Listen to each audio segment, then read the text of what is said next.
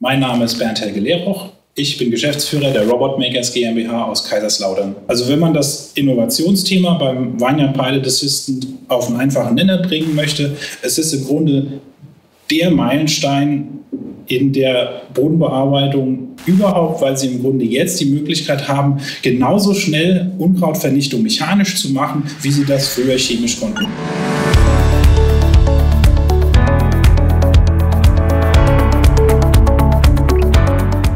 Früher hat man oft argumentiert, naja, wenn ich jetzt Bodenbearbeitung mache, da kann ich nur relativ langsam durch die Zeilen fahren, damit ich mir meine Stöcke nicht kaputt mache, dass das Arbeitsergebnis passt. Also ist man eben auf die chemische Lösung gegangen.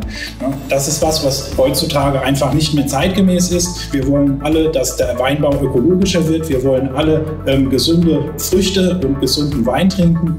Ähm, und das ist im Grunde der Meilenstein, weil wir können im Grunde sogar schneller fahren, als sie das mit einer Unkrautvernichtungsspritze tun könnten.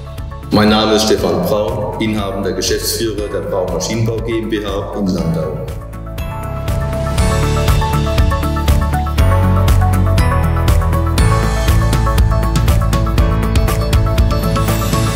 Die Innovation ist hier das Vineyard Pilot Assistance System und RCP System, ProGro Pilot System.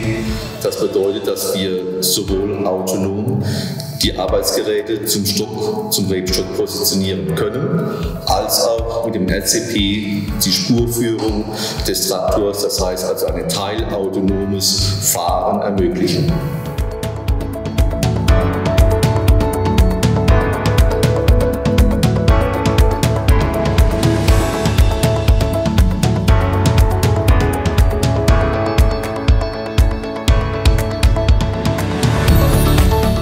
Diese Kooperation mit Robotmakers äh, war sehr fruchtbar. Das heißt, wir konnten hier den klassischen Maschinenbau mit modernen IT verknüpfen.